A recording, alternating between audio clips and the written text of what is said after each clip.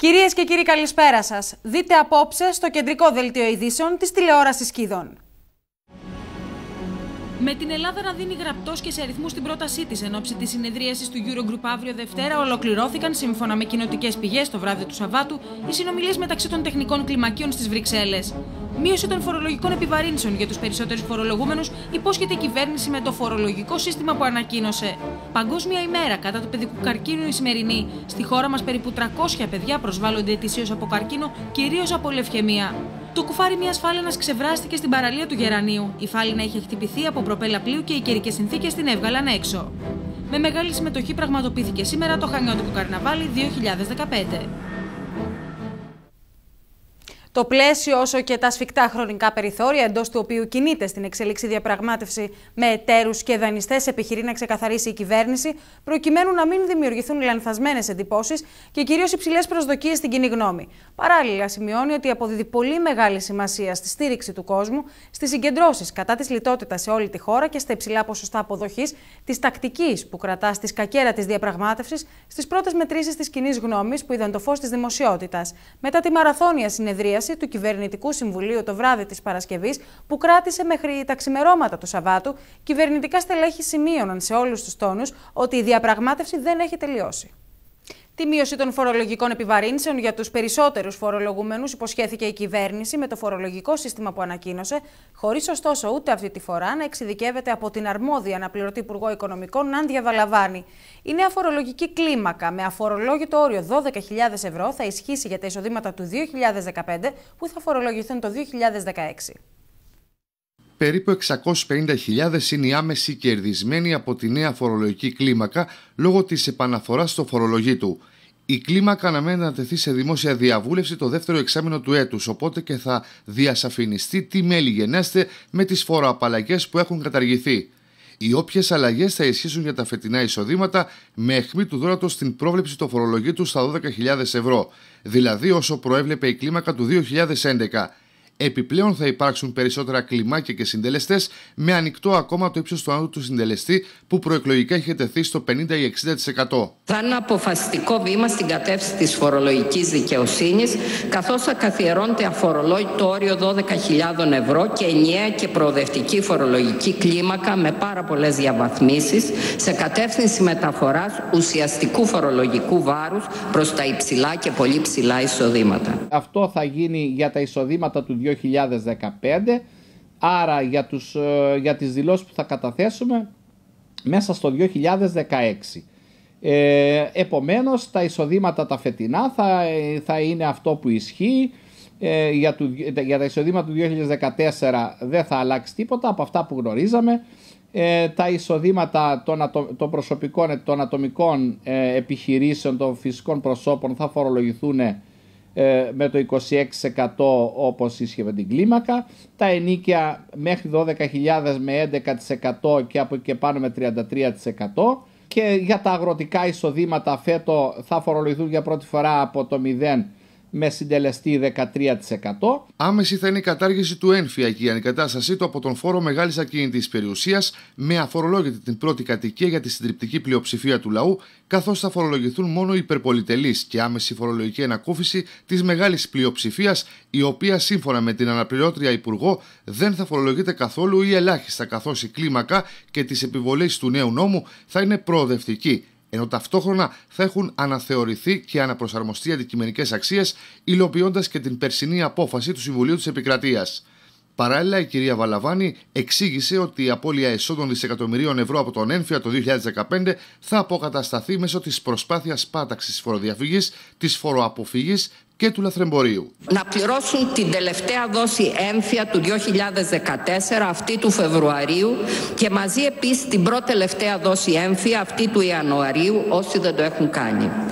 Έτσι θα μπορέσουμε να απαλλαγούμε με τον πιο αποτελεσματικό τρόπο από τον έμφυα οριστικά, ο οποίος για το 2015 προβλεπόταν να είναι άλλα 3,4 δις. Την ίδια ώρα παρατείνεται για λίγους μήνες η δυνατότητα ρύθμισης των χρεών με το σύστημα μέχρι 100 δόσεων αφαιρώντας τους περιορισμούς που εμπόδιζαν τη μεγάλη πλειοψηφία να μπει στο σύστημα.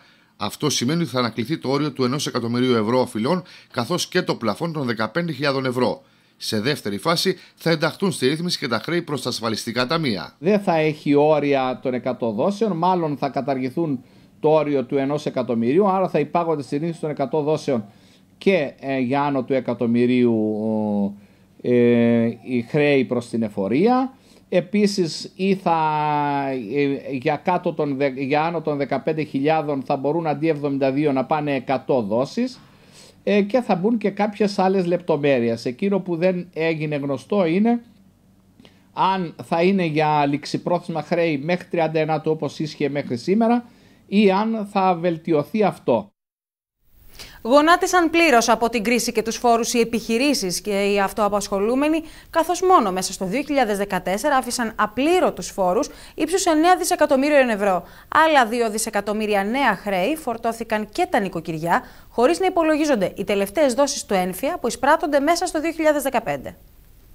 Το αστρονομικό ποσό των 9 δισεκατομμυρίων ευρώ αγγίζουν οι απλήρωτοι φόροι από τις επιχειρήσεις και τους αυταπασχολούμενους προς την εφορία για το 2014. Σύμφωνα με πηγές του Υπουργείου, αν και το σύνολο των ληξιπρόθεσμων χρεών αυξήθηκε κατά 15 δισεκατομμύρια μέσα στη χρονιά που πέρασε, φτάνοντας σε 75 δισεκατομμύρια συνολικά, Περίπου 4 δισεκατομμύρια ήταν οι τόκοι και οι προσαυξήσεις από παλαιά χρέη που είχαν δημιουργηθεί μέχρι και το 2013. Είναι γνωστό ότι λόγω της παρατεταμένης κρίσης οι οφειλές των ιδιωτών και των επιχειρήσεων προς το κράτος ε, έχουν αυξηθεί σημαντικά. Και αυτό έχει σαν αποτέλεσμα τα έσοδα του κράτους να μειωθούν δραματικά. Για το λόγο αυτό η προηγούμενη κυβέρνηση είχε φέρει τη ρύθμιση με τις 100 δόσεις, η οποία όμως δεν απέδωσε τα αναμενόμενα. Ένας λόγος που δεν απέδωσε τα αναμενόμενα ήταν και ότι δεν μπορούσαν να μπουν στη ρύθμιση αυτή το σύλλογο των οφειλετών. Ε, πιστεύουμε ότι η νέα κυβέρνηση, ένα πρώτο θετικό δείγμα είναι ότι ανακοίνωσε ότι θα καταργήσει την προσωποκράτηση για χρέη προς το δημόσιο και αυτό είναι πολύ σημαντικό για τους επιχειρηματίες. Ε, Επίσης, πιστεύουμε ότι πρέπει να φέρει μια νέα ρύθμιση με πολλές δόσεις και να, σε αυτήν όμως να μπορεί να ενταχθεί το σύνολο των οφειλετών με πολλές και μικρές δόσεις, ώστε να μπορούν να ανταπεξέλθουν στις υποχρεώσεις τους. Τα περίπου 2 δισεκατομμύρια νέα χρέη που άφησαν τα νοικοκυριά αφορούν κυρίως σε απλήρωτους φόρους εισοδήματος και ακινήτων, καταγράφοντας μια μάλλον μικρή αύξηση 15 20% σε σχέση με το 2013. Ωστόσο, τα υπόλοιπα 9 δισεκατομμύρια ήταν νέα χρέη που έμειναν απλήρωτα μέσα στο 2014 από επιτιδευματίες. Ειδικά στους αυτοαπασχολούμενους και ελεύθερους επαγγελματίες, υπολογίζεται ότι μέσα στο 2014 άφησαν 90% περισσότερα νέα χρέη έναντι του 2013, καθώς αυξήθηκαν από περίπου 1,3 δισεκατομμύρια στα 2,5 δισεκατομμύρια ευρώ, ενώ τα νέα χρέη των επιχειρήσεων αυξήθηκαν κατά 80%. Δείτε κυρίες και κύριοι σε λίγο. Αλλαγές στο υφιστάμενο συνδετήριο έργο της παράκαμψης των πολίων Έλους και της λιμνοδεξαμενή Έλους ζήταμε έγγραφό του προς τον Περιφερειάρχη Κρήτη Σταύρο Αρναουτάκη και τον Αντιπεριφερειάρχη Χανίων Απόστολο Βουλγαράκη, ο Δήμαρχος Κισάμου Θοδωρής Σταθάκης. Την πλήρη αλλαγή του εκπαιδευτικού τοπίου εξήγηλε στη Βουλή η ηγεσία του Υπουργείου Παιδείας. Μεταξύ αυτών που εξαγγέλθηκαν περιλαμβάνεται η κατάργηση της Τράπεζας Θεμάτων αλλά και η κατάργηση της πολιτικής κατάργησης των σχολικών μονάδων.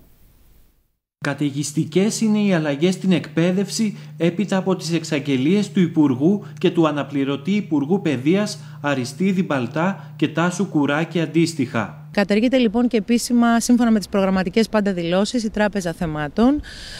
Επίσης, σταματά να προσμετρά το βαθμό της Α, Β και Γ Λυκείου για την εισαγωγή στα πανεπιστήμια. Ένα άλλο πάρα πολύ σημαντικό μέτρο είναι η βαθμολογία, ο μέσος όρος του 9,5, ώστε αυτό δίνει τη δυνατότητα σε πάρα πολλά παιδιά να περάσουν στην επόμενη τάξη με επιτυχία και να μην έχουμε πάλι το φαινόμενο των μετεξεταστέων για Σεπτέμβριο. Κάτι πολύ σημαντικό, ε, σαν πρόταση ήταν η εξής, την οποία την είχαμε κάνει μάλιστα και εμείς σαν Ένωση Γονέων και θέλαμε να ξανακαταθέσουμε μια καινούρια πρόταση τέτοια. Είναι η αποδέσμευση πλέον του σχολείου, της δευτεροβάθμιας εκπαίδευσης για εισαγωγή στα πανεπιστήμια. Νομίζω ότι αυτό είναι το πιο μεγαλόπινο σχέδιο που θα μπορούσε ποτέ να υπάρξει στη χώρα. Το ενδιαφέρον όλων επικεντρώνεται στο πώς θα αντικατασταθεί το σύστημα των πανελλαδικών εξετάσεων με εξίσου αδιάβλητο σύστημα εισαγωγής στην τριτοβάθμια εκπαίδευση. Σίγουρα χρειάζεται ένα δράση χρειάζεται κάποιο βάθος χρόνου. Αντιλαμβάνεστε ότι δεν είναι πολύ εύκολο να γίνουν όλα αυτά από τη μία μέρα στην άλλη. Όμως σε αυτό το σημείο θέλω να επισημάνω το εξής, ότι σύμφωνα πάντα με τις προγραμματικές δηλώσεις έχουν υποθεί όλα αυτά. Όμως, μέχρι να έρθει κάποια εγκύκλιο επίσημα στις, στη δευτεροβάθμια εκπαίδευση, πρέπει να είμαστε λίγο προσεκτικοί ώστε ούτε τα παιδιά να αναθαρίσουν ιδιαίτερα και να απογοητευτούν στο τέλος της χρονιάς, δίνοντας πάλι για παράδειγμα εξετάσεις ενδοσχολικές, ε, ούτε να περιμένουν το, το 9,5 σαν μέσο όρο και τελικά να μην ευοδοθεί για φέτος. Είναι λοιπόν, είπαμε, σύμφωνα με τις προγραμματικές δηλώσεις, κάποιες μεταρρυθμίσεις, οι οποίες σίγουρα θα γίνουν πραγματικότητα. Τώρα δεν γνωρίζουμε αν θα γίνουν για την τρέχουσα σχολική χρονιά ή θα ισχύσουν από του χρόνου. Η εκπαιδευτική κοινότητα αναμένει και στην πράξη την εφαρμογή των μεταρρυθμίσεων. Πλέον μπορούμε να είμαστε πάρα πολύ έτσι, χαρούμενοι για τις νέες αυτές μεταρρυθμίσεις. Εξάλλου είναι κάποιες αλλαγές οι οποίες ενδεχομένως δεν έπρεπε να είχε αλλάξει το προηγούμενο σύστημα, οπότε το λαμβάνουμε αυτό σαν συνέχεια ε, του εκπαιδευτικού συστήματος που είχαμε πριν από χρόνια στην Ελλάδα. Ε, δεν το λέω αυτό με την έννοια ότι κάνουμε βήματα πίσω, απέναντίας. Απλά πλέον νομίζω ότι βρισκόμαστε στο σωστό δρόμο για αναδιάρθρωση του εκπαιδευτικού μας συστήματος. Στη διεθνή επικαιρότητα τώρα κυρίες και κύριοι, ένα άτομο έπεσε νεκρό από αστυνομικά πυρά σε σιδηροδρομικό σταθμό στην Κοπενχάγη μετά τις δύο επιθέσεις που σημειώθηκαν στην πρωτεύουσα της Δανίας και που είχαν ως αποτέλεσμα τον θάνατο δύο ατόμων και τον τραυματισμό άλλων πέντε. Σύμφωνα με την αστυνομία που παρακολουθούσε κτίριο κοντά στο σταθμό, ο άνδρας άρχισε να πυροβολεί τους αστυνομικούς μόλις του φώναξαν και εκείνοι απάντησαν με πυρά. Οι αρχές εκτιμούν ότι πρόκειται για το δράστη των δύο αιματηρών επιθέσεων. Ένας άντρα σκοτώθηκε σήμερα το πρωί όταν η αστυνομία άνοιξε πύρ κοντά σε ένα σιδηροδρομικό σταθμό της Κοπεχάγης. Η αστυνομία εκτιμά ότι πρόκειται για τον δράστη των δύο επιθέσεων. Η επιχείρηση αστυνομίας έγινε λίγες ώρες μετά τις δύο επιθέσεις σε καφέ πολιτιστικού κέντρου και μία συναγωγής, όπου σκοτώθηκαν δύο άνθρωποι και τραυματίστηκαν πέντε ακόμα. Ο άνδρας άνοιξε πύρα εναντίον των αστυνομικών, εκείνοι απάντησαν και τον τραυμάτισαν θανάσιμα. There is a massive presence of police in Copenhagen and, and therefore what we do ask people is that uh, when they see any roadblocks, it's usually because the police are there in operations and we do ask the citizens to please respect these roadblocks and please follow the guidelines given by the uh, officers on the scenes. We feel certain now that it is a politically motivated attack uh, and thereby it is a terrorist attack. We take this situation extremely seriously, seriously. Η επίθεση στο καφέ έγινε το απόγευμα του Σαββάτου όταν άνδρας άνοιξε πύρα εναντίον του κτηρίου. Εκείνη την ώρα πραγματοποιούνταν εκδήλωση για τον Ισλαμισμό και την ελευθερία της έκφρασης, στην οποία συμμετείχε ο Σουηδός καλλιτέχνης Lars Vilks, ο οποίος είχε επανειλημμένα δεχθεί απειλές για τη ζωή του. Yes, it is freedom of speech, but. And the turning point is but. Why do we still say but when we.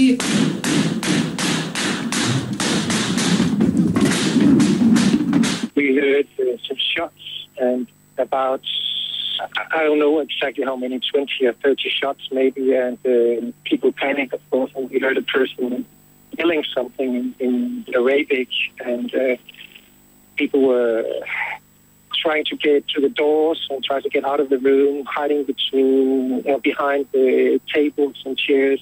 Η δεύτερη επίθεση έγινε τα ξημερώματα της Κυριακής σε περιοχή της πρωτεύουσας κοντά σε μια συναγωγή. Έπεσαν πυροβολισμοί με αποτέλεσμα να χάσει τη ζωή του ένα άνδρα και να τραυματιστούν δύο. There was a succession of six or seven uh, gunshots um, within a minute or so. Armed police were on the scene. Uh, a helicopter was hovering overhead. Um, I witnessed um, police apprehend um, a individual who uh, who was handcuffed and then they later released him. Οι αρχές της χώρας βρίσκονται σε κατάσταση υψής επιφυλακής. Ελικόπτερα από αέρος και δεκάδες αστυνομικοί χτένισαν όλη τη νύχτα την πρωτεύουσα της Δανίας. Πρόταση τώρα στον Περιφερειάρχη Κρήτης για διερεύνηση της δυνατότητας χωροθέτησης των αγωγών εισόδου-εξόδου. Σε νέα θέση νοτιοδυτικά της λιμνοδεξαμενής του Έλους κατέθεσε ο Δήμος Χισάμου. Στόχος της Δημοτικής Αρχής είναι να απεμπλακεί άμεσα το έργο, ώστε να προχωρήσουν και οι εργασίες διάνοιξης της παράκαμψης του δρόμου. Ακόμη και με απένταξη από την τρέχουσα χρηματοδότηση φαίνεται να απειλείται το έργο της λιμνοδεξαμενής του Έλους εάν δεν τροποποιηθεί ο υφιστάμενος σχεδιασμός. Η Δημοτική Αρχή της Κισάμου κατέθεσε πρόταση στον Περιφερειάρχη Κρήτης για διερεύνηση της δυνατότητας χωροθέτησης της διασύνδεσης των αγωγών εισόδου-εξόδου σε νέα θέση νοτιοδυτικά της Λιμνοδεξαμενής. Η εξέλιξη του έργου εξαρτάται από το έργο της διάνοιξης της παράκαμψης στο Πολύον Έλους, για το οποίο υπάρχουν νέα δεδομένα. Ε, Δυστυχώς δεν μπορεί να προχωρήσει η κατάσταση όσο έχει, γιατί ο ανάδοχος που έχει την παράκαμψη του έλους δεν αφήνει να γίνει η εσκαφή του δρόμου για να περάσει ο αγωγός. Ε, με αποτέλεσμα λοιπόν ή θα πρέπει να πενταχθεί το έργο της λιμνοδεξαμενή, κατά το οποίο δεν το δεχόμαστε, ή θα πρέπει να υπάρξει αναπροσαρμογή και να μπουν στο νέο, να γίνουν μεταφερόμενα στο νέο ΕΣΠΑ, με αποτέλεσμα να υπάρχει τεράστια χρονική καθυστέρηση. Ε, γι' αυτό θεωρούμε ότι αυτή η λύση που προτείνουμε είναι εφικτή. Θα το δουν βέβαια και οι αρμόδιοι υπηρεσίες, αλλά θεωρούμε ότι θα δώσει τα δέοντα. Και ζητάμε από τον κύριο Περιφερειάρχη να δώσει τη λύση που χρειάζεται. Στόχος του Δήμου Κισάμου είναι το έργο της λιμνοδεξαμενής του Έλλους να απεμπλακεί άμεσα, ώστε να συνεχιστούν απρόσκοπτα και οι εργασίες διάνοιξης τη παράκαμψη του δρόμου από τα τοπόλια και να έχουν ολοκληρωθεί πριν την έναρξη της νέας τουριστικής περίοδου. Φοβούμενοι μην τυχόν και υπάρξουν διμενείς και στην ομαλή εξέλιξη των έργων με εμπλοκές των αναδόχων. Ε, κάνουμε την πρόταση προς τον κύριο Περιφερειάρχη, ο οποίος έχει δείξει τη δέουσα σημασία προς την περιοχή μας κατά την εκτέλεση των έργων αυτών. Και του ζητούμε λοιπόν να λάβει υπόψη του να αλλάξει την όδευση της, ε, των αγωγών της Λιμνοδεξαμενή, να μην γίνει σύραγγα ε, βόρειο, βόρεια της ε, Λιμνοδεξαμενή, αλλά να πάει νότιο-δυτικά. Με αποτέλεσμα έτσι λοιπόν να μπορεί να συνεχιστεί ο δρόμος ε, απρόσκοπτα και με την ένταξη τουριστικής σεζόν τον επόμενο μήνα, τον Απρίλιο, αρχές του Απρίλιο, να έχει ολοκληρωθεί για να μπορούν να γίνεται ε, όπως είπα, πρόσκοπτα η προσέλευση των επισκεπτών προς τον Λαφωνίση. Ο Δήμαρχος Κισάμου, Θοδωρής Σταθάκης, ζητά από την Περιφερειακή Αρχή να εξετάσει την πρόταση της Δημοτικής Αρχής για τα δύο έργα, σημειώνοντας ότι τα χρονικά περιθώρια στενεύουν. Χαρακτηρίζει ρεαλιστική την πρόταση η οποία υποβλήθηκε και σημειώνει ότι αποτρέπει τυχόν εμπλοκή στην ομαλή εξέλιξη τόσο του έργου της Λιμνοδεξαμενής, όσο και της διάνοιξης του νέου δρόμου που θα συνδέει τα τοπόλια με το έλος και το ελαφωνήσι. Είναι ιδιαίτερα σημαντικό να προχωρήσουν και τα δύο έργα να μην υπάρξει πρόβλημα με τη λιμνοδεξαμενή και θεωρούμε ότι με αυτή την πρόταση, εφόσον υλοποιηθεί, θα λύσει το ζήτημα άμεσα. Έχουμε στείλει την επιστολή και αναμένουμε από τις υπηρεσίες και από τον κύριο Αντιπεριφερειάρχη έχει κοινοποιηθεί να συμφωνήσουν οι εμπλεκόμενες υπηρεσίες και οι ανάδοχοι και να ολοκληρώσουν άμεσα τα έργα.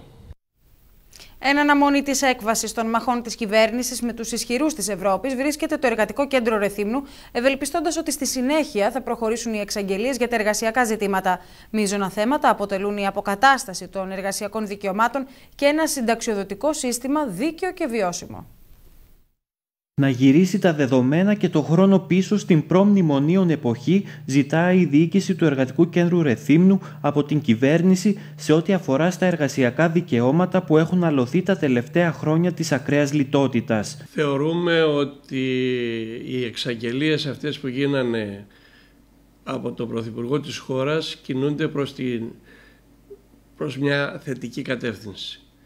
Πιστεύουμε ότι θα επανέλθουν οι συλλογικές συμβάσεις στο προ-μνημονιακό καθεστώς, θα καταργηθούν οι ατομικές συμβάσεις, θα καταργηθούν οι επιχειρησιακές συμβάσεις.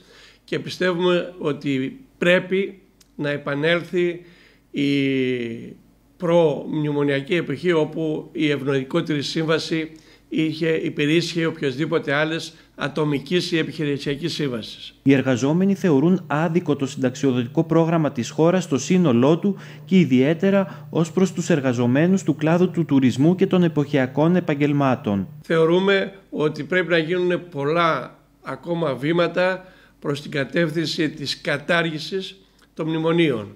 Επαναφορά των συντάξεων στα προηγούμενα καθεστώτα και όχι μόνο για τους 700 υπήρξαν πάρα πολλές μειώσεις, υπήρξαν πάρα πολλές αδικίες. Η επαναφορά των ορίων ηλικίας θεωρούμε ότι δεν πρέπει σε καμιά περίπτωση να καταργηθούν τα 4.500 ένσημα γιατί ειδικά στο Ρέθυμνο και στην Κρήτη γενικότερα η μεγαλύτερη απασχόληση είναι εποχιακή και όλα αυτά πρέπει να καταργηθούν. Το συνδικαλιστικό κίνημα πάλευε και παλεύει για να καταργηθούν οι μνημονιακοί νόμοι. Όλα θα κριθούν από το εάν τελικά η Ελλάδα θα πείσει τους ισχυρούς της Ευρώπης προς όφελος του ελληνικού λαού που δοκιμάζεται. Κοιτάξτε, υπάρχει ένα δύσκολο ε, πολιτικό περιβάλλον σε επίπεδο Ευρωπαϊκής Ένωσης. Υπάρχουν αντιδράσεις από τις μεγάλες χώρες. Θεωρώ ότι η κυβέρνηση πρέπει να διαπραγματευτεί για το προς του ελληνικού λαού. Δηλαδή ό,τι καλύτερο μπορεί να προσφέρει έτσι, για να ανακουφίσει πλέον τον ελληνικό λαό. Το κουφάρι μια φάλαινα ξεβράστηκε στην παραλία του Γερανίου στο Δήμο Πλατανιά. Κάτοικοι της περιοχής ειδοποίησαν άμεσα τις αρχές προκειμένου να περισυλλέξουν τη φάλαινα πριν δημιουργηθεί κάποια αιστεία μόλυνσης. Μπροστά σε ένα απίστευτο θέαμα βρέθηκαν οι κάτοικοι στο γεράνι του Δήμου Πλατανιά, καθώς έκπληκτοι αντίκρισαν το κουφάρι μιας φάλαινας να κοίταται στην παραλία. Όπως φαίνεται, η φάλαινα αρχικά τραυματίστηκε από προπέλα διερχόμενου πλοίου και στη συνέχεια εξευράστηκε στην παραλία από τις κακές καιρικές συνθήκες που επικρατούσαν. Είμαι κάτοικος Γερανίου και εδώ κατέβηκα στην παραλία το πρωί και πέταξε μια φάλαινα εδώ και φαίνεται είναι χτυπημένα από τροπέλα. Να την πάρουν από εδώ, να τη σκεπάσουν κάπου, να την ανοίξουν κανένα λάκκο, να τη σκεπάσουν. Κάτοικοι της περιοχής ειδοποίησαν τις αρχές ώστε το κουφάρι του θηλαστικού να μεταφερθεί άμεσα από την παραλία, καθώς υπάρχει κίνδυνος για να δημιουργηθεί αιστεία μόλυνσης. Εν τω μεταξύ και οι κάτοικοι στη λιγαριά Ηρακλείου έκπληκτοι αντίκρισαν ένα δελφίνι περίπου 2,5 μέτρο να κοίταται στην παραλία. Πιθανό το άτυχο θηλαστικό να τραυματίστηκε από προπέλα σκάφους αφού φέρει τραύματα στο κεφάλι. Η Παγκόσμια ημέρα κατά του παιδικού καρκίνου γιορτάζεται κάθε χρόνο στις 15 Φεβρουαρίου με πρωτοβουλία της Διεθνούς Ένωσης Γονέων με Καρκινοπαθή Παιδιά για την ενημέρωση της διεθνούς κοινής γνώμης για τις παιδικές νεοπλασίες. Στη χώρα μας περίπου 300 παιδιά προσβάλλονται ετησίως από καρκίνο, κυρίως από λευχαιμία.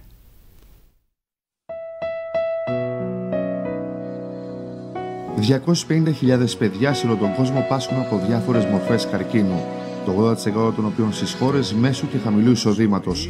Στην Ελλάδα, περίπου 300 παιδιά προσβάλλονται ετησίως από καρκίνο, κυρίως από λευχαιμία. Το 70% από αυτά θεραπεύεται λόγω της επάρκειας φαρμάκων και καταρτισμένου επιστημονικού προσωπικού. Αντίθετα, στις χώρες του τρίτου κόσμου, τα ποσοστά θνησιμότητας δυστυχώς είναι πολύ υψηλά. Η Παγκόσμια λοιπόν Μέρα για τον Καρκίνο της Παιδικής Ηλικίας έχει σκοπό να ευαισθητοποιήσει το ευρύτερο κοινωνικό περιβάλλον για τις ανάγκες των παιδιών που νοσούν από καρκίνο σε όλο τον πλανήτη. Υπολογίζεται ότι στον κόσμο κάθε χρόνο 250.000 παιδιά νοσούν από καρκίνο, από τα οποία μόνο ποσοστό 20% έχει δυνατότητα πρόσβασης σε σωστή ιατρική φροντίδα. Το 80% από αυτά προέρχεται από τις αναπτυσσόμενες χώρες, στις οποίες δεν υπάρχει δυνατότητα διάγνωσης και σωστής θεραπείας. Πάνω από 150.000 θάνατοι κάθε χρόνο θα μπορούσαν να είχαν αποφευχθεί αν υπήρχε δυνατότητα έγκαιρης διάγνωσης και εξειδικευμένης θεραπείας σε όλα τα παιδιά.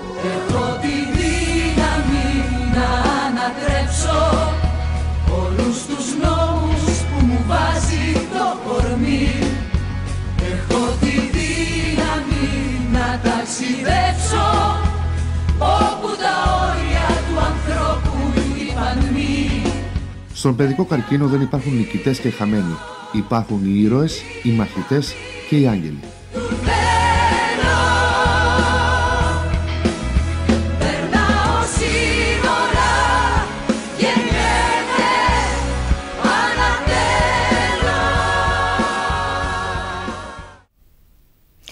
Ενθαρρυντικά είναι τα νέα από την επιστημονική κοινότητα για τους καρκινοπαθείς. Σύμφωνα με τα όσα έγιναν γνωστά στη διάρκεια σχετικής ημερίδας που οργανώθηκε στο νοσοκομείο Χανίων, χίλια περίπου νέα φαρμακευτικά σκευάσματα έχουν ρηχτεί στη μάχη της επάρα τη νόσου τα τελευταία χρόνια στην διεθνή αγορά. Ελπίδες για τους ασθενείς με καρκίνο γεννούν τα αποτελέσματα της πολυπαραγοντικής αντιμετώπισης της νόσου αλλά και χιλίων νέων φαρμάκων που πρόκειται να κυκλοφορήσουν στη διεθνή αγορά. Αυτό επεσήμανε ο καθηγητής χειρουργικής Πανεπιστημίου Κρήτης και διευθυντής της κλινικής χειρουργικής ογκολογίας στο Παγνί, Οδυσσέα Ζώρας, που μίλησε για το μέλλον της εξειδίκευσης στη χειρουργική ογκολογία και τις κλινικές εφαρμογές της σε εκδήλωση στο νοσοκομείο Χανίων. Παράλληλα, ο κύριος Ζώρας ανέφερε ότι τα τελευταία χρόνια βρίσκονται σε τρομακτική αύξηση περιστατικά καρκίνου του πνεύμονος. Υπάρχουν ορισμένοι καρκίνοι που βρίσκονται σε αύξηση, όπως παραδείγματος χάρη ο καρκίνος του πνεύμονα, ειδικά στις γυναίκες. Ε, υπάρχουν καρκίνοι οι οποίοι βρίσκονται σε μια στασιμότητα, όπως είναι ο καρκίνος του μαστού και ο καρκίνος του παχαίου συντέρου και υπάρχουν και καρκίνοι οι οποίοι βρίσκονται σε ύφεση, όπως είναι ο καρκίνος του στομάχου. Ο, κάθε αύξηση ή μείωση από αυτές τις οποίες συζητήσαμε έχει τους δικούς της λόγους. Οι οποίοι μπορεί να είναι από περιβαλλοντική μέχρι διατροφική. Στο μεταξύ, ο καθηγητής Χειρουργικής Πανεπιστημίου Κρήτης πρόσθεσε ότι στην Ελλάδα έχουμε περάσει μια φάση πιο μπροστά στην αντιμετώπιση του καρκίνου, ενώ επεσήμανε ότι στη χώρα μας έχουμε πάρα πολύ καλά θεραπευτικά αποτελέσματα και αυτό οφείλεται στη συστηματική επιμόρφωση και ενημέρωση των γιατρών στα νέα δεδομένα. Οφείλεται στην, στην ατομικές προσπάθειες των γιατρών, οι οποίοι ενημερώνονται συστηματικά και καθημερινά και, και στα νέα δεδομένα. Ε, Λέγοντας πριν για τις φαρμακευτικές αγωγές που μου ζητήσατε, αυτή τη στιγμή στην Αμερική υπάρχουν χίλια φάρμακα, προσέξτε χίλια φάρμακα, έτοιμα να μπουν στο εμπόριο το καταναλωτικό του ιατρικού χώρου. Είναι χίλια καινούργια φάρμακα τα οποία ετοιμάζονται αυτή τη στιγμή στην Αμερική. Συνεπώς έχουμε μπροστά μας ένα ανοιχτό μέλλον ε, και θα δούμε πώς θα εξελιχθεί. Από την πλευρά του, ο νεφρολόγο διευθυντής της Νεφρολογικής Κλινικής και μέλος του Επιστημονικό Συμβούλιο του Γενικού Νοσοκομείου Χανίων, Γιάννης Τζανάκης, επεσήμανε τη σημασία της συνεχούς εκπαίδευσης και μετεκπαίδευσης των ιατρών. Ανεξάρτητα από την αύξηση μη των περιστατικών, ο γιατρός πρέπει να βρίσκεται σε μια διαρκή ενημέρωση, σε μια διαρκή ε, γνώση και επαφή με τις εξελίξεις, οι οποίες τρέχουν με ρυθμό πολύ πιο γρήγορα από όσο φανταζόμαστε. Ε, άρα θα πρέπει να εκπαιδεύεται και να εκπαιδεύει. Έχει διπλό ρόλο και να εκπαιδεύεται αυτός ο ίδιος, αλλά και να εκπαιδεύει τους νεότερους. Στα πλαίσια λοιπόν αυτού του πνεύματος, τα τελευταία τρία χρόνια, το Επιστημονικό Συμβούλιο, ε, είναι η τρίτη χρονιά φέτο που το διοργανώναμε, διοργανώνει μία σειρά ε, μαθημάτων, τα οποία γίνονται δύο με τρεις φορές το μήνα στο αμφιθέατρο του νοσοκομείου με γιατρούς του νοσοκομείου αλλά και με προσκεκλημένους ομιλητές, καθηγητές ή άλλους ειδικούς από το διάφορα μέρη της Ελλάδα. Κλείνοντας, ο κύριος Τζανάκης επιβεβαίωσε την αύξηση των περιστατικών κακοηθών νεοπλασιών και στον ομοχανίων, γεγονός που απέδωσε σε λόγους περιβαλλοντικούς διατροφής καθώς και του σύγχρονου τρόπου ζωής. Μπορεί να μην υπάρχει μια στατιστική 100% επιβεβαίωση, αλλά είναι μια εντύπωση και δεν νομίζω να κάνουμε λάθος ότι αυτό πράγματι ισχύει. Πολλά πράγματα αυτά είναι για αυτό το πράγμα περιβαλλοντολογικοί λόγοι, ε, σίγουρα περιβαλλοντολογικοί λόγοι παίζουν, διατροφή, τρόπο ζωής, η αύξηση του χρόνου ζωής γενικά του πληθυσμού που δίνει το χρόνο να αναπτυχθούν αυτά τα νοσήματα. Αυτοί είναι σε γενικές γραμμές οι κύριοι λόγοι οι οποίοι ευθύνονται για αυτό το πράγμα. Με τις καλύτερες των εντυπώσεων για το τουριστικό ρεύμα προς τη χώρα μας κατά την επερχόμενη τουριστική περίοδο, έχουν μείνει οι θύνοντες του τουρισμού στον νομό Ρεθύμνου, έπειτα από δεκάδες τουριστικέ εκθέσεις, με συγχωρείτε, ανά την Ευρώπη, στις οποίες έδωσαν δυναμικό παρόν. Προπόθεση, ωστόσο, αποτελεί να έρθει σε συμφωνία η ελληνική κυβέρνηση με τους Ευρωπαίους εταίρους, ώστε να παραμείνει ζωντανή η θετική εικόνα της Ελλάδας ως ένας φθηνός αλλά και συνάμα ασφαλή προορισμός.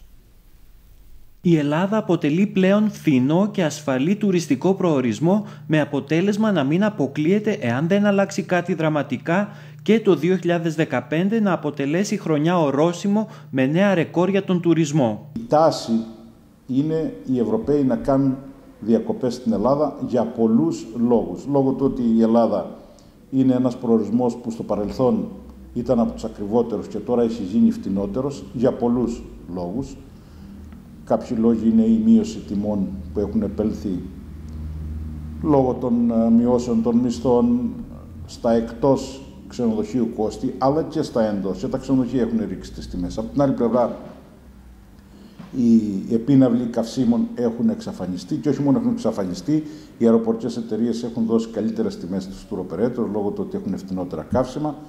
Η διαφορά για μεν τους ε, Άγγλους ε, πελάτες μας της λίρας με το ευρώ που παίζει γύρω στο 20% είναι επίσης ένας άλλος ενθαρρυντικός λόγος. Παράλληλα, πολιτισμικοί και θρησκευτικοί λόγοι φαίνεται ότι μπορεί να τονώσουν τον τουρισμό στην Ελλάδα σε συνάρτηση και με την πάυση των αρνητικών δημοσιευμάτων αρκεί να επέλθει η συμφωνία της Ελλάδας με την Ευρώπη. Και δεδομένου ότι η Ελλάδα παρέχει ασφάλεια και είναι χριστιανικός προορισμός, έχουμε αυτή την μεγάλη και ραγδαία αύξηση. Είχαμε δύο χρόνια τα προηγούμενα αυξητικά και ελπίζομαι να κάνουμε ξανά ένα καινούριο ρεκόρ. Πιστεύω ότι αυτή η ομαλή θετική ροή κρατήσεων δεν θα διαταραχτεί με τίποτα. Ε, έγινε και κυβέρνηση με την πρώτη στην Ελλάδα, κάτι που επέδρασε θετικά. Δεν θα πάμε σε ακυβερνησία, δεν πήγαμε σε ακυβερνησία, δεν πήγαμε σε επαναλαμβανόμενες εκλογές όπως έγινε το 2012. Ελπίζω και τα λίγα αρνητικά δημοσιεύματα που υπήρξαν αυτό το χρονικό διάστημα να σταματήσουν, να βρεθεί η λύση και η συμφωνία με τους Ευρωπαίους εταίρους και να κυλήσουν όλα ομαλά προς το καλό και της Ευρώπης αλλά και της Ελλάδος. Όλα αυτά δεν βασίζονται μόνο στις πολιτικές εξελίξεις και τα δημοσιεύματα, αλλά και στην εμπειρία των ξενοδόχων του Ρεθύμνου που συμμετέχουν σε δεκάδες τουριστικές εκθέσεις ανά την Ευρώπη. Σε όλες τις εκθέσεις που πήραμε μέρος σαν Ρέθυμνο και που δεν είναι λίγες, ξεκινώντας ε, από το Λονδίνο πρόωρα το Νοέμβριο και συνεχίζοντας σε κάποια road show που έγιναν στο Βέλγιο το Δεκέμβριο, το ΔΕ Ιανουάριο στις εκθέσεις της Σκανδιναβίας Όσλο και Ελσίνκι και προχωρώντας στην έκθεση που έγινε στην Ολλανδία, στην Ουτρέχτη και στη συνέχεια στην έκθεση της Βιέννης στην Αυστρία. Από όλες αυτές λοιπόν είχαμε ένα ηχηρό ψήφισμα υπέρ της Ελλάδος στον τουρισμό. Τα νούμερα που μας δίδουν οι συνεργάτες μας tour operators είναι ενθαρρυντικά. Δείτε στη συνέχεια του δελτίου μας. Ανοίγει ο δρόμος για το στεγαστικό πρόβλημα του 14ου νηπιαγωγείου στα περιβόλια Ρεθύμνου. Το σύνολο των εργασιών θα έχει ολοκληρωθεί το ερχόμενο καλοκαίρι. Μία ακόμη συγκέντρωση στην πλατεία της Δημοτικής Αγοράς πραγματοποιήθηκε σήμερα για το ζήτημα του ελληνικού χρέους με μεγάλη συμμετοχή. Ανάλογες συγκεντρώσεις πραγματοποιήθηκαν και σε άλλες πόλεις της χώρας. Είμαστε για τρίτη συνεχόμενη φορά εδώ πέρα για να στηρίξουμε το δύσκολο έργο της κυβέρνησης ε, στις δύσκολες διαπραγματεύσεις που έπονται και θα πρέπει όλοι μαζί να το στηρίξουμε δυναμικά για το συμφέρον του λαού. Διότι χωρίς τον λαϊκό παράγοντα και χωρίς τη διαμόρφωση ενός ισχυρού κινήματος, μια κυβέρνηση δυστυχώς δεν θα μπορέσει να υλοποιήσει τις δεσμεύσεις της. Γι' αυτό πρέπει όλοι μαζί να τα αγκαλιάσουμε και να είμαστε μαζί του. Σήμερα είναι η πιο σημαντική από τις τρεις ε, συγκεντρώσεις σε όλη την Ελλάδα. Ήδη έχει μαζευτεί πάρα πολλοί κόσμος. Πρέπει να στηρίξουμε την κυβέρνηση στην πιο σκληρή προσπάθεια που, θα δοθεί αύριο το βράδυ στο Eurogroup. Ε, πρέπει να είμαστε όλοι εκεί μαζί δίπλα της. Ε, πιστεύουμε ότι θα τα καταφέρουμε. Ε, αλλά δεν θα τα καταφέρναμε χωρίς όλο τον κόσμο εδώ πέρα που έχει έρθει τι πλατείες και έχει γεμίσει και έχει κατακλείσει όλες τις πλατείες σε όλη τη χώρα. Εμείς ε, προσωπικά, σαν Ελέα ΣΥΡΙΖΑ, ε, πιστεύουμε στη θετική έκβαση της διαπραγμάτευσης και όλα θα πάνε καλά. Μετά και την έγκριση του Υπουργείου Παιδείας των προτάσεων του Τμήματος Παιδείας του Δήμου Ρεθύμνου, άνοιξε ο δρόμος για την επίλυση του στεγαστικού προβλήματος του 14ου νηπιαγωγείου στα περιβόλια. Ο πρώτος κύκλος εργασιών θα ολοκληρωθεί κατά την τωρινή σχολική περίοδο, αλλά το σύνολο των εργασιών μέσα στο ερχόμενο καλοκαίρι και πριν την έναρξη της νέας σχολικής περίοδου. Εγκρίθηκαν από το Υπουργείο Παιδείας οι μεταστεγάσεις δομών παιδείας στο εκπαιδευτικό συγκρότημα περιβολίων έτσι ώστε να λειτουργήσει πιο ανθρώπινα για τα μικρά παιδιά το 14ο νηπιαγωγείο. Όπως ξέρετε το 14ο νηπιαγωγείο στεγάζεται ε, σε χώρους του 8ου Δημοτικού. Ε, εκεί στον ίδιο χώρο στεγάζεται και το ΙΕΚ, το Ινστιτούτο Επαγγελματικής Κατάρτισης. Ε, με μια πρόσφατη απόφασή μας στη Δημοτική Επιτροπή Παιδείας και με τη σύμφωνη γνώμη του ΕΚ και του Υπουργείου Παιδείας, το ΙΕΚ θα στεγαστεί σε χώρους στο πρώτο ΕΠΑΛ, θα λειτουργεί βέβαια το απόγευμα, οπότε δεν δυσκεραίνει τη λειτουργία του πρώτου ΕΠΑΛ. Και αυτοί οι χώροι που, ε, που ανήκαν παλιότερα στο ΙΕΚ, αυτοί θα δοθούν για να φτιαχτεί ένα σύγχρονο νηπιαγωγείο και οι υπόλοιποι χώροι θα δοθούν για εργαστήρια στο 8ο Δημοτικό Σχολείο. Ο κύριος όγκος των εργασιών θα γίνει το ερχόμενο καλοκαίρι, ώστε όλα να είναι έτοιμα μέχρι το Σεπτέμβριο. Συμφωνούν όλοι οι εμπλεκόμενοι φορείς. Επομένως, νομίζω μέσα στο καλοκαίρι θα γίνουν αυτές οι εργασίες. Άρα, από του χρόνου θα έχουμε ένα σύγχρονο νηπιαγωγείο που θα λειτουργεί πολύ καλά σε εκείνο το χώρο και επίσης ε, θα φτιαχτούν και εργαστήρια για το 8ο Δημοτικό Σχολείο που τα έχει ε, ανάγκη. Προτεραιότητα αποτελούν οι εγκαταστάσεις υγιεινής τόσο του Δημοτικού όσο και του νηπιαγωγείου στα περιβόλια. Ήδη βρίσκεται σε, μια, ε, σε εξέλιξη μια εργολαβία για την ανάπλαση στις ε, τουαλέτες που ήδη υπάρχουν στο συγκεκριμένο χώρο. Για τον νηπιαγωγείο, στην εργολαβία που θα είναι, σε, θα είναι σε εξέλιξη το καλοκαίρι, θα γίνουν χωριστές τουαλέτες για τον νηπιαγωγείο.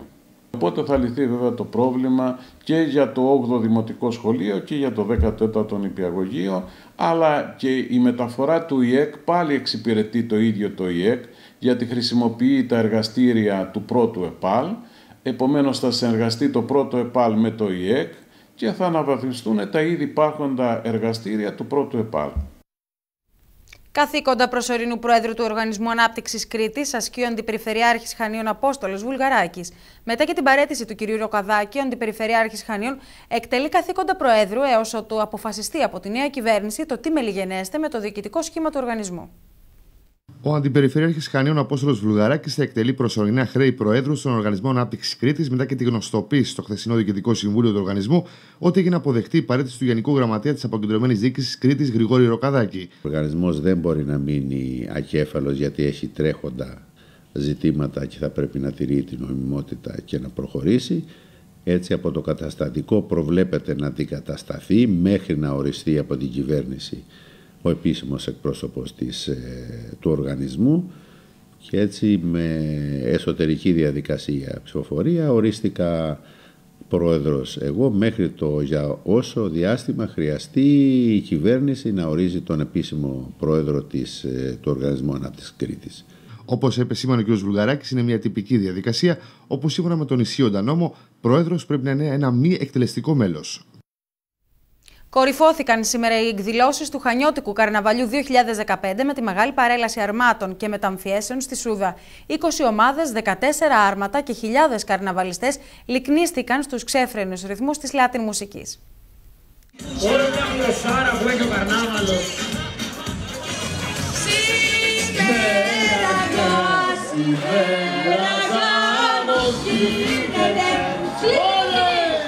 Κέφι, ζωντάνια και χιλιάδες μικροί και μεγάλοι με σύμμαχο τον καλό καιρό ξεσηκώθηκαν σήμερα και παραδόθηκαν στους ξέφρενους ρυθμούς του Χανιώτικου Καρναβαλιού 2015 στη Σούδα που παρουσίασαν ο Δημήτρης Ουγγαρέζος και η Γογό Καλιδονάκη. Χαίρομαι πολύ με εδώ. Ε, μέχρι τις 5 το πρωί ήμασταν ε, στα Χανιά. Είδα όλα τα μαγαζιά.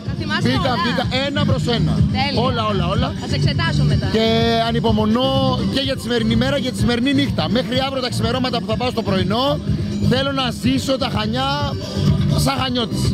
Τη αρέσουν πολύ, έχει ντυθεί χιονάτι. Μια μπανάνα! Αστυνιά μας. Κατσαγύφτος. Στρατιωτικήνα. Κάθε χρονιά είμαστε εδώ, περνάμε ωραία και καλύτερα δηλαδή δεν μπορούσατε να το κάνετε βέβαια έτσι με τον Ουγγαρέζο κάθε χρόνο ερχόμαστε. Τα βλέμματα όλων στράφηκαν στη Βασίλισσα του Καρναβαλιού για να ακολουθήσει μεγάλη παρέλαση των αρμάτων από τον αυτοαθλητικό κέντρο της Σούδας μέχρι την κεντρική πλατεία. Φέτος στην παρέλαση συμμετείχαν πάνω από 20 ομάδες και 14 εντυπωσιακά άρματα, ενώ χιλιάδες ήταν οι καρναβαλιστές.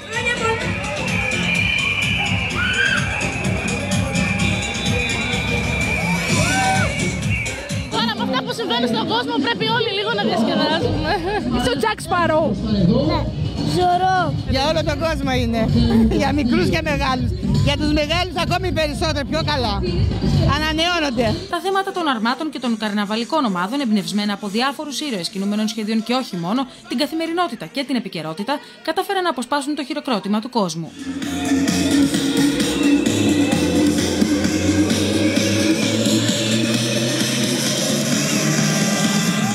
Μετά την παρέλαση των αρμάτων που κατέληξε στην πλατεία της Σούδα, ακολούθησε ξέφρενο πάρτι, ενώ βραβεύτηκε και η καλύτερη ομάδα. Οι καρναβαλικές εκδηλώσεις θα ολοκληρωθούν την Κυριακή 22 Φεβρουαρίου στις 6 το απόγευμα και θα περιλαμβάνουν αποκριάτικη βόλτα με τρενάκι, καύση του καρνάβαλου, πυροτεχνήματα και πολλές εκπλήξεις. Ένα ξέφρενο πάρτι στήθηκε χθες βράδυ στο χώρο των ομάδων του Καρναβαλιού του Ρεθύμνου με θέμα διάσημα ζευγάρια, ενώ έγινε και παρουσίαση θεατρικών σατυρικών σκέτς. Μία εβδομάδα πριν το ρεθεμιώτικο καρναβάλι και οι ομάδες χθες προχώρησαν στον καθιερωμένο πλέον χορό τους. Σκέτς με ευρηματικά σενάρια πλαισίωσαν τη βραδιά. Η ρακοδικασμένη καρναβαλική ομάδα του Αμαρίου εμπνεύστηκε το φετινό θέμα από τον Σύφη τον Κροκόδηλο. Ο Σύφης ο κροκόδιλος και εσύ φυλακισμένος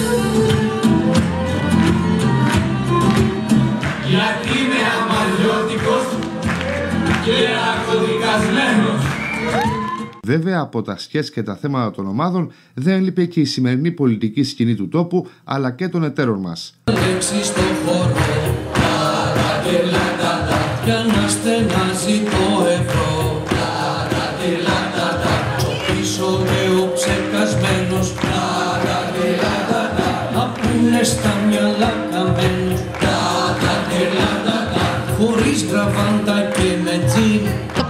όλο χρόνο.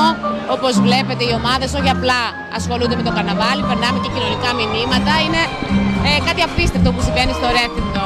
Ε, πολύ καλά. Ναι. Είμαστε τρία χρόνια.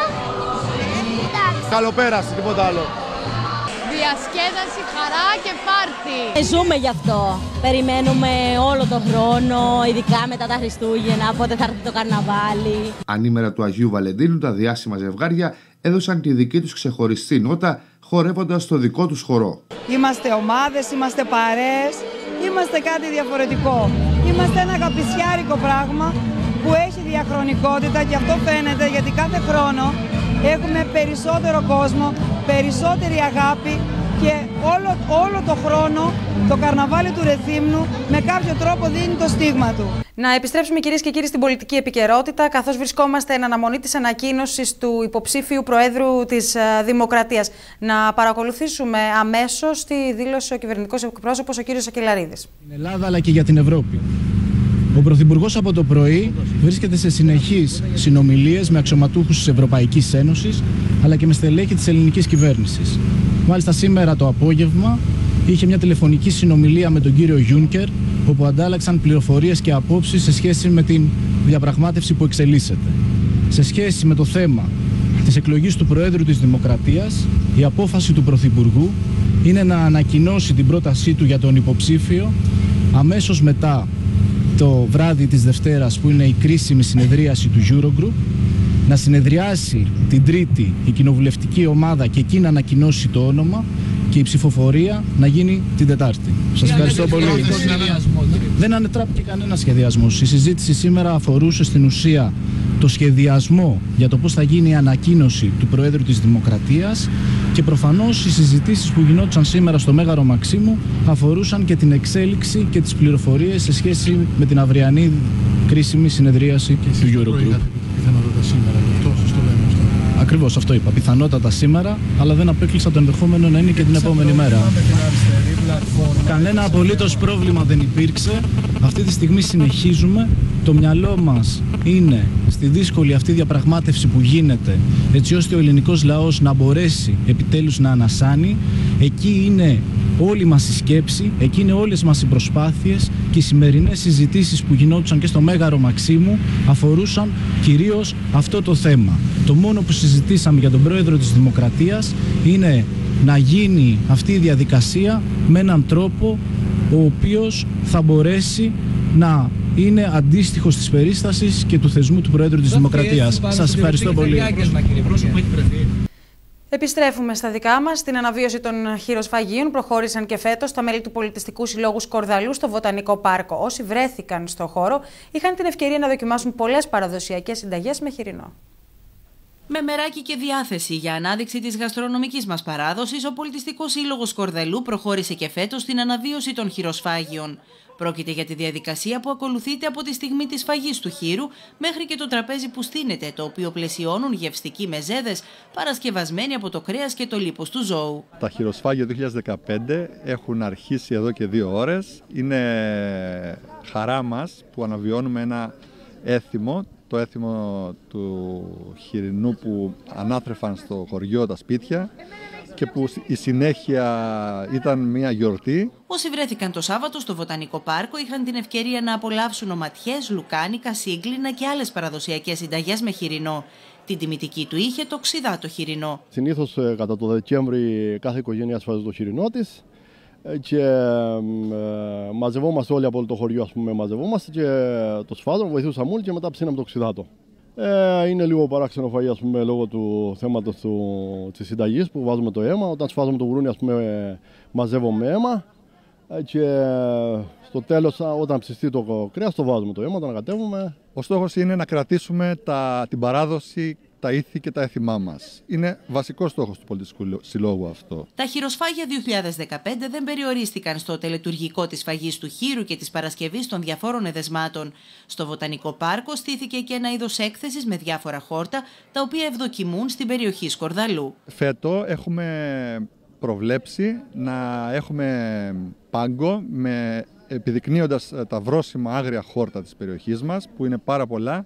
Πιστέψτε με και εγώ σήμερα που φτιάχναμε τον πάγκο, έμαθα χόρτα που δεν τα γνώριζα και Νομίζω ότι αυτό, και αυτό είναι ένα κομμάτι που πρέπει να το έχουμε και να το μεταφέρουμε στις νεότερες γενιές. Η αναβίωση του εθήμου των χειροσφάγιων από τον Πολιτιστικό Σύλλογο Σκορδαλού ήταν ιδανική ευκαιρία για να στηθεί ένα γιορτινό τραπέζι.